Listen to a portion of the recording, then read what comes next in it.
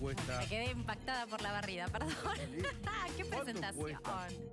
Eh, si descontamos, si sumamos los impuestos que estamos eh, pagando cuando compramos una vivienda.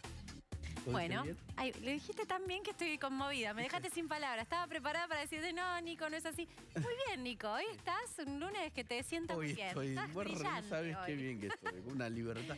Me parece genial. Sí. Bueno, mira, ¿cuánto cuesta? Seguramente te lo decíamos al principio del programa. Vos en algún momento tuviste el sueño o la posibilidad de pensar en ese sueño de la vivienda propia. Para todo el que tiene una familia y el que es soltero o el que no, siempre tener el techo asegurado es un objetivo seguro de mediano, largo plazo o, por qué no, de corto plazo. Sí. Pero el punto es, es costoso tener una vivienda propia y cada vez más difícil. Lo que hicimos fue prepararte para que sepas cuánto en realidad pagarías de menos si no tuvieras que pagar la alta cantidad de impuestos. Porque cuando compras todo, pagás. también- eh, En ese precio están incluidos impuestos que vos también ya pagaste por otro lado. Absolutamente. También en este eh, sector, que es el sector, el rubro inmobiliario, aquel, aquella vivienda que vos podés acceder, que es a estrenar, vamos a hacer esta salvedad, es una vivienda a estrenar, hay un alto componente impositivo. Paradojas del destino, ni tampoco este gobierno que tanto se propuso hacer para que la gente pueda tener un acceso a la vivienda con los créditos UBA, un crédito que no existía antes y demás,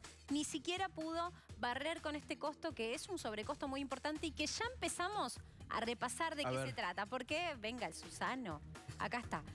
Ingresos brutos, ¿cómo Este es el no? que más me gusta este semióticamente porque ingresos brutos no lo entiendo. Ingresos brutos siempre está. El Sí, pero peso- para, para. Sí. ¿La casa cuánto cuesta? No sabemos. Bueno, podemos ponerle un precio. ¿Qué querés ponerle? 100.000 dólares. dólares. Y sí. Bueno, Bueno, ahí está, el 5%. 5.000. Se fue.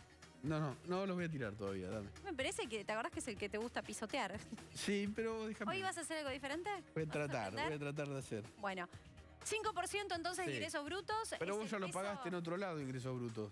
Sí, lo pagaste cuando compraste Lo- la galletita, claro. te subiste al, Claro. probablemente al taxi y tuviste que pagar ingresos brutos, eh, llegaste a tu En el trabajo. costo del taxi, cuando fuiste a la Sí. inmobiliaria, pagaste ingresos También. brutos en el Te costo tomaste del un taxi. cafecito, te lo En el invitaron. café del taxi Bueno. de la inmobiliaria También. estás pagando Exactamente, el te coso. diste el y- almuerzo. Y que compraste algo, no sé, algo para ver, una cosa de clasificados.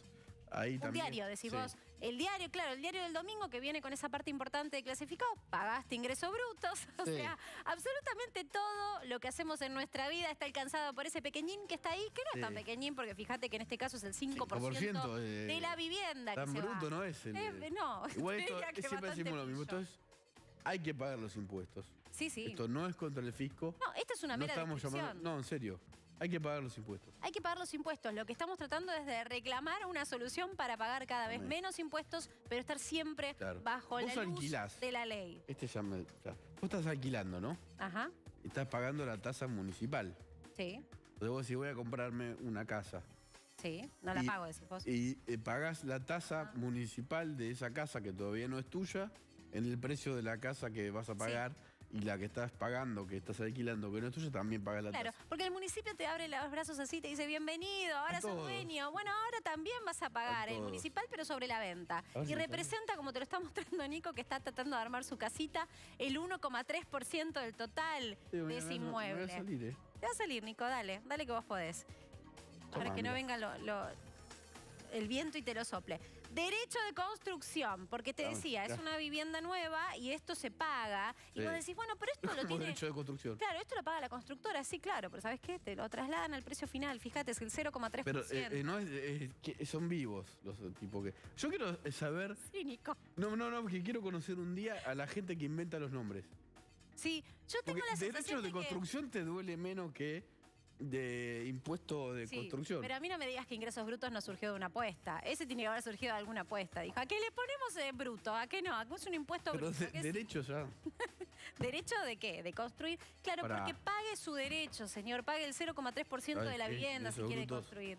Ay, dale, No dale. sale date la casa, no sale. Me encanta, No sale, me encanta chau. cuando haces esto. No sale. Bueno, pero ¿sabes qué? Ese de que, que lo tirás esta. y que lo despreciás tanto sigue estando en todos Mirá, lados. acá. ¿Y este? ¿Este chiquito que Pero siempre el cheque de que si yo pago con transferencia. Claro, o con o sea, un crédito. O, o con un crédito que el banco te da la tarasca. Tenías un ahorro y entonces viene de una caja de Eh, seguridad. eh, eh, ¿Yo puedo cobrar derecho de construcción de esto? no, Nico. ¿A quién, se lo. ¿A quién se hacemos pagar? Construí algo. bueno, pero acá, mira, como No, aunque no pagues en cheque como alguien importa. paga un, Pasó con un el cheque el en algún dinero. momento Claro. eso que era nada y después fue cemento y después fue eh, vidrios y cosas y termina siendo una casa que vos querés pagás Te diría que siempre que pase por el banco algún impuesto